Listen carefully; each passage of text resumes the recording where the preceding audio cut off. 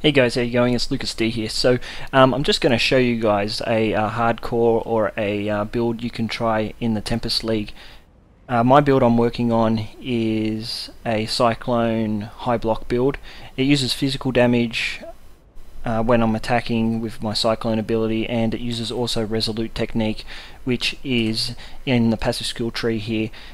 Now when I was doing this build I was going for mainly all the blocking nodes. So the blocking nodes still work pretty good in um, the patch 2.0 with the blocking nodes you also get physical damage um, which is over here and you also get physical damage down here which is on the blocking nodes. So there's more blocking nodes over here too which have physical damage on them and the other beauty about this build is when you um, get all the blocking nodes it will also give you defense nodes. So if we go back to the skill tree again uh, one more time uh, see if I have a look at this here you've got 60% increased defenses from your equipped shield 20% oh sorry not 20% over here you've got another 60% increased defense from equipped shield. So not just block chance you also get increased defenses from your equipped shield as well. And what that does is when you get all your blocking nodes, all your shield nodes, at the uh, at the end you'll you'll end up getting at least uh, 400 to 450 percent increased defense from your shield. So if you get a shield like say Lioneye's Remorse, which is very cheap in the Tempest League at the moment, which is the hardcore league, um, you can get that shield and if I take the shield off, my defense is only 2000 armor. But when I put the shield on, I've now got 8458 armor. In effect, this allows me to have other gear. I could also use the Tabula Rasa if I was um, just starting, like if I want to do 6 link, and if say I took this armor off, it, it it's only about a thousand you know, it's only about a thousand armor I lose, so I only lose about three percent damage um, 3% damage reduction from from armor. So that's something to consider in this build, which is uh, a good thing about this build when doing the physical Cyclone build.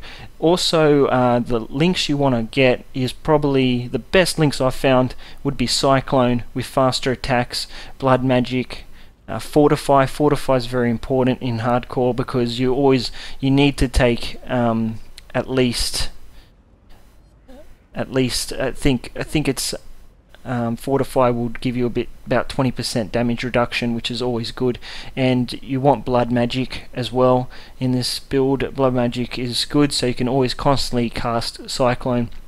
And you have plenty of life regen here, 236 lives regenerated per second, which is very good. And concentrated effect if you're on bosses. You can also use increased area effect as well if you're if you want to take out a lot of mobs. Uh, with uh, the cast and damage taken setup, you want on here cast and damage taken with Immortal Call.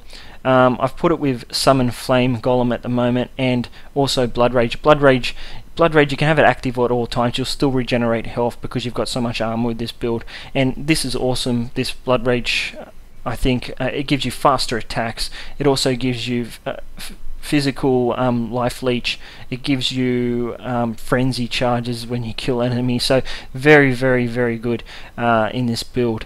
Uh, down here as well, you've got um, riposte. Now you're blocking a lot because our block chance is 60%. We also have spell block chance at 30% uh, because we use the Stone of Lazhwar, which is uh, the amulet, and you want riposte linked with Molten Shell and Tempest Shield, so you can keep those defense um, buffs up. So you have your Molten Shell and Tempest Shield most of the time up when you have it cast on melee kill. So when your riposte um, kills an enemy, these two will be up at all times, which is pretty good.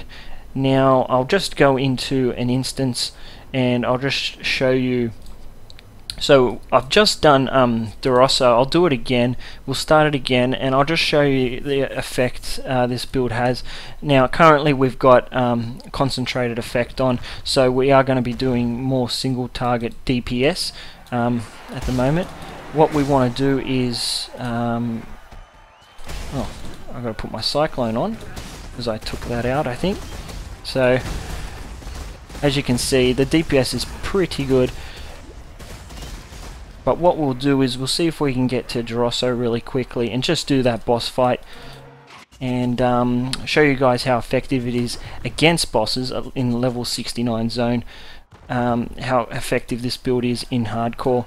So you don't have to get worried you know when you're building up your character you know worried that you're going to die or anything like that. So you've got to still be careful of those things as well. So um, but the good thing about this build is it's very tanky and um, you won't have to run away all the time or stress because it's it's not an evasion build it's a higher it's a good armor build and it just relies on your shield defense which you can get for a pretty good price at the moment.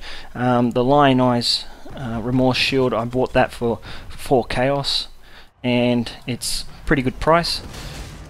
Now what we'll do is stop running away. This guy constantly running away from me. As you can see, they went down pretty quick. Sometimes you get them in tough areas, so if they're in tough areas, just use um, Wild Strike.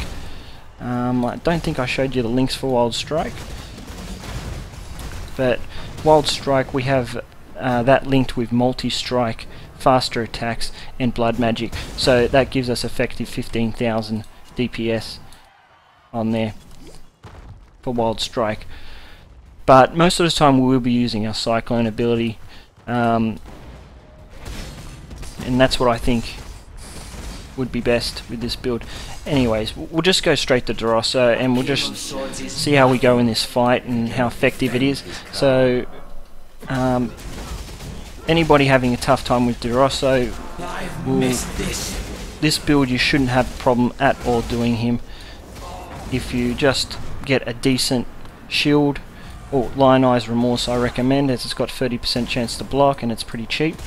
And as you can see those blades do a lot of damage. Um, but this this is a pretty effective build and you just stay on him. I'll come up here and you'll just charge up here now.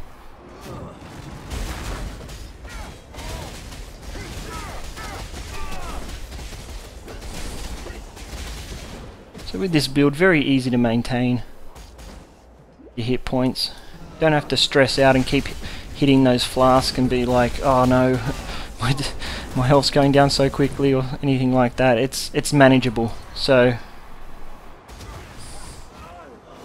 No. Okay, so we'll just finish him off. Hopefully we can finish him off now. There we go. So he's down, and um, that's basically uh, the effectiveness of this build. Uh, so guys, if you want to try out this build, um, I'll try and I'll post up the passive skill tree in the comments. But this is a great build for a hardcore league. Um, if you guys want to try it out, if you wanted a build which is tanky and can get you through um, to the later stages of late game, like end game with Path of Exile in a hardcore league. So I'm Lucas D. I hope this video helped you guys out. If you did like the video, just uh, leave a like um, or subscribe, and I'll bring out more videos. And uh, yeah, thanks for watching, guys, and I'll see you later. Bye.